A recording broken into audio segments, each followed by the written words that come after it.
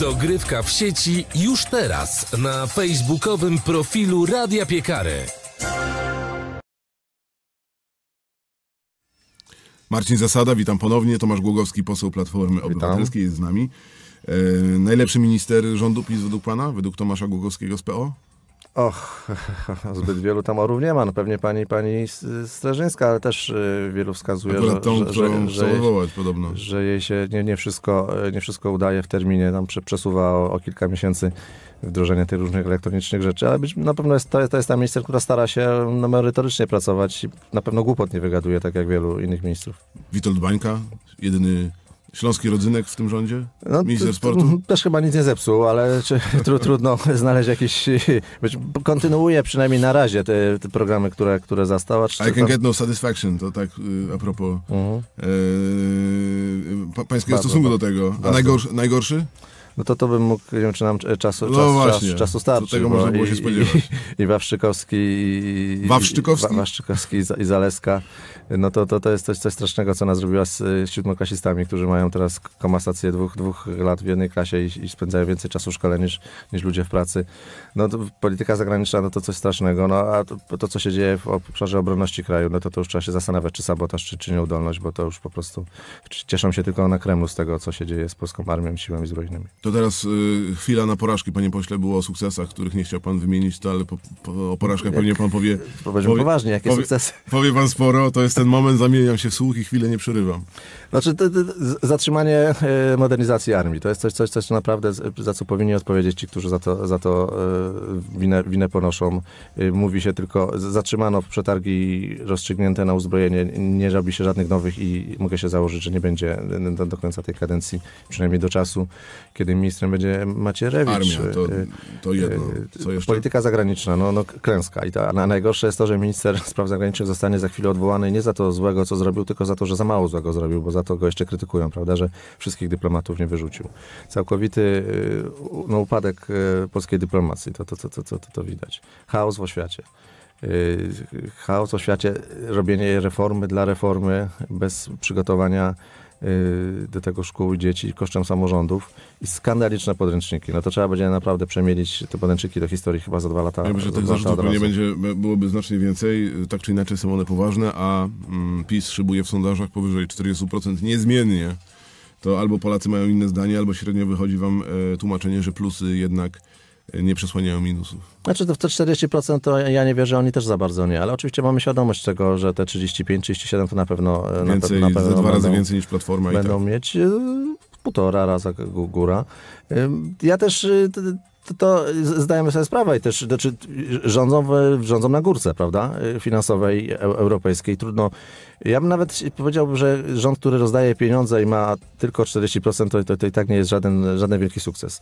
I, i nie, nie zgadzam się z opiniami, że Platforma jest słabą opozycją, bo e, rok temu wszyscy nam wieszczyli, że będziemy mieli 7%, a teraz myślę, że te 20 mamy stabilne i, i zobaczy pan redaktor za rok, że powyżej 20 wyraźnie będzie w wyborach sejmikowych, także i, i to nie bierze się znikąd. Bierze się z ciężkiej pracy, z tego, że, że codziennie pracujemy i A propos ciężkiej pracy, Grzegorz. Grzegorz Schetyna zapowiada rekonstrukcję, uwaga, gabinetu cieni. Mhm. Śmieszniej byłoby chyba tylko, gdyby Ryszard Petru zapowiedział e, stworzenie gabinetu cieni, gabinetu cieni. Ja myślę, że z strony pana Ryszarda moglibyśmy jeszcze wes- weselszych rzeczy oczekiwać. D- Zawsze trzeba y, ko- korekt dokonywać. W gabinecie cieni. Oceniać, kto pracuje To coraz, dobrze, kto może coraz mniej pracować te cienie widać, bo jakby prąd, prądu coraz mniej. Ja nie, nie powiedziałbym. Pra- Naprawdę jest, codziennie coś robimy. Codziennie jest kilka konferencji, jeździmy po Polsce, codziennie są kluby obywatelskie, codziennie par- par- parlamentarzyści Platformy są e, gdzieś w kraju. I ja, naprawdę znikąd się nie bierze 20%. 20% przy tej totalnej, e, totalnej pro, propagandzie rządu, to, to naprawdę trzeba ciężko pracować, żeby mieć i, i to jest ten, myślę, background, który mamy i z którego będziemy startować do wyborów, z którego na pewno się odbijemy jeszcze mocniej. Tymczasem w PO właśnie wybory szefa regionu już, już tuż, tuż. Kończy się faza zbierania podpisów, Mhm. e, kampanii. Wojciech Saługa czy Dawid Kostemski? No podobno jeszcze trzeci kandydat e, zbiera podpisy. Andrzej Misiołek. E, Tak. Nieoczekiwanie. No to z tej trójki kto? Zobaczymy, kto zbierze podpisy, czy, czy, czy będzie rzeczywiście ich dwóch, czy Wojciech trzech. Saługa ma chyba z 550. To, Tak, to mniej e, więcej... Czy, czy, to, czy, czy zobaczymy, czy będzie miał kontrkandydatów? Pozostałym dwóm chyba nie, nie najlepiej idzie zbieranie podpisów. Pańskie nazwisko z e, kolei, a propos tych podpisów, znalazło się na liście Dawida Kostępskiego. Wojciecha Sałogi również. Również. I to, i to Można wcześniej. I to wcześniej. jednego i drugiego popierać? Można, tak. Imię demokracji. E, W imię demokracji pan Kostemski przyjechał na nasze spotkanie moje i Borysa Budki, licząc, że tam pozbiera podpisów. Akurat nikt się nie chciał podpisać, więc Zebrał dwa, tak? obaj się podpisaliśmy w- właśnie w imię, w imię demokracji. Znaczy, odpowiadając całkiem poważnie, oczywiście na- najlepiej oceniam kandydaturę Wojciecha Saługi, chociażby dlatego, że jest przygotowana od dłuższego czasu, nie jest zrobiona jakiegoś zaskoczenia e, to, totalnego. Obie te kandydatury pozostałe mnie zaskoczyły. E, No, Andrzej Misiałek ma niestety w ostatnich miesiącach, moim zdaniem, nie najlepsze e, tam momenty, jak bezsensowny atak na Borysa Budka i myślę, że to go w Platformie, no nie, niestety mu po, pozycji nie zbudowało. Natomiast Dawid Kostewski jest osobą poza kręgiem samorządowców słabo znaną w Platformie i jeżeli ch- chciałby, nie odbierając mu możliwości i umiejętności e, kierowania organizacją, jeżeli chciałby na poważnie e, wystartować, to powinien to z pewnym wyprzedzeniem zrobić, żeby zaprezentować także siebie i Zgadza, swoją zgadza się pan e, z jego mm, diagnozą stanu, z, z oceną stanu Platformy na Śląsku. Powiedział, prezentując swoją kandydaturę dziennikarzom, że marszałek Saługa między innymi tępi opozycję w regionie, że hamuje rozwój tejże Platformy. Zgoda? Czy- Znaczy nigdy nie, nie, ja nigdy nie odczułem, żebym był tępiony w jakikolwiek sposób Bo wewnątrz Platformy, może nigdy. dlatego. Natomiast też y, wiem, że Dawid nigdy nie był opozycją, a wręcz bym powiedział, że zawsze miał relacje bardzo dobre i to, o co, o co y, zabiegał y, w Platformie, to, to otrzymywał, uzyskiwał, więc z jego ust taka opinia jest bardzo zaskakująca.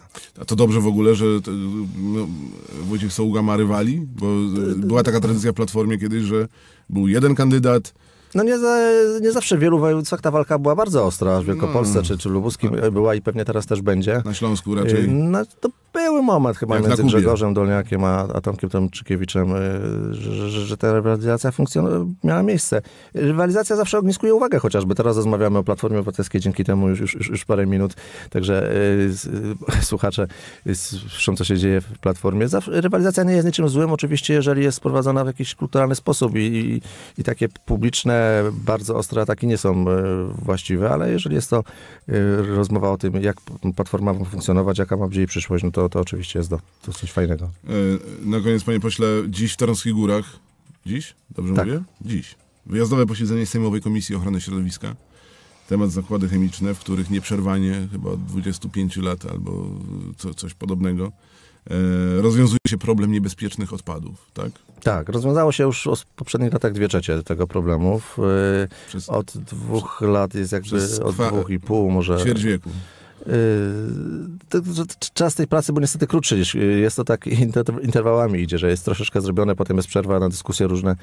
Yy, I teraz ta przerwa trwa dość długo. Ja już ponad rok temu, kiedy komisja przyjęła dezyderaty na moją tam prośbę, było zapisane do, do ministra środowiska pytanie, czy stan prawny obecny już jest wystarczający, żeby posprzątać resztę odpadów także zalegających na e, terenie prywatnym. tak, no właśnie, terenie prywatnym. Jak to w ogóle możliwe? Te tereny zostały sprzedane przez Agencję Mienia Wojskowego e, 20 parę lat temu, już w czasie procesu likwidacji e, osobom prywatnym. No. Z odpadami na nich? Z odpadami, z odpadami. W, w, w, w specyfikacji przetargu było uwzględnione, że są te odpady, które zostaną usunięte, więc właściciele podnoszą, że oni kupili z przekonaniem, że, że to zostanie zabrane. Nikt też nie ma wątpliwości, że wytwórcą tych odpadów był, był podmiot państwowy, więc państwo powinno je posprzątać. No i takie pytanie, to, to jest teraz ostatnie pytanie dla parlamentarzystów, natomiast ministerstwo zajmuje to już półtora roku na odpowiedź. Czy już nie ma żadnych problemów prawnych, żeby to posprzątać, czy jeżeli są, to trzeba je e, zlikwidować, bo to już nie jest duża kwota, to naprawdę jest, jest kilkadziesiąt milionów, to w skali budżetu w NFOŚ-u na przykład, to to nie są kwoty nie do zrobienia, technologicznie też nie jest to żaden problem, tylko odpowiedź, y, czy no, niektórym urzędnikom brakuje odwagi, żeby podjąć decyzję, że sprzątamy odpady z terenów prywatnych, więc to trzeba, ja się nawet nie dziwię, no bo każdy... 20, 25 lat to w ogóle to jest To- możliwe, żeby coś takiego...